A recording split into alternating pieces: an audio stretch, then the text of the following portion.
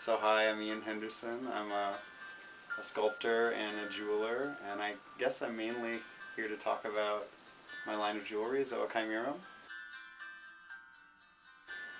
uh, which is, I've got a piece of it here. It's jewelry made of rubber and aluminum.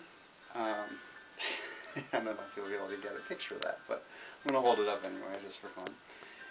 Uh, and it's it's made of repurposed materials normally used in electronics, mainly insulation tubing and aluminum grounding wire. And the insulation tubing is what allows me to produce these colorful, delicate looking spikes that are actually flexible and soft and durable.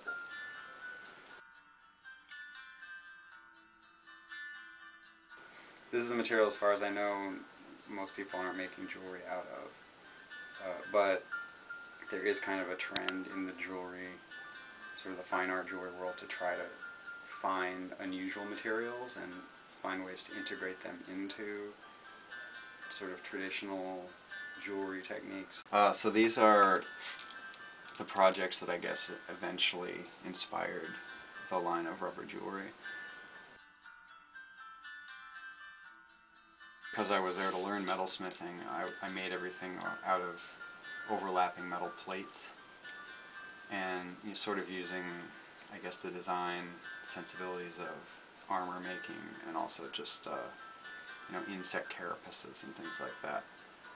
As jewelry, they, they weren't really practical. Like this is a bracelet, for example, but there's not too many situations where you'd be able to wear this.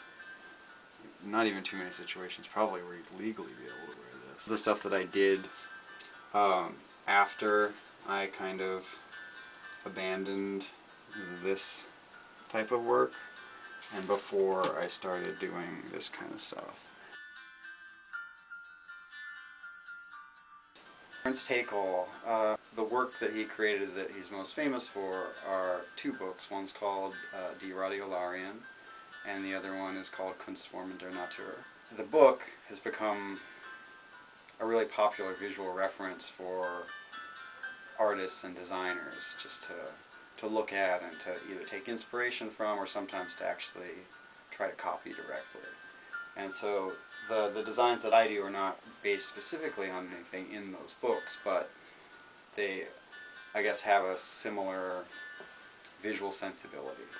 Uh, he was maybe one of the first people to have access, regular access to a microscope, so he studied all these microbes and I think this was in a time that predated photography or certainly predated very small scale photography. So he would draw what he saw under the microscope. And so it's really interesting sort of fractal geometric creatures. They are animals, but they also kind of look like abstract patterns. They, they look like all kinds of things. They're very uh, visually stimulating to look at. He drew lobsters and uh, you know octopi and you know all kinds of different sea creatures and things like that. At this point I'm about halfway through assembling um, what will ultimately look kind of like this piece, although I'm going to have the spines a little more densely packed.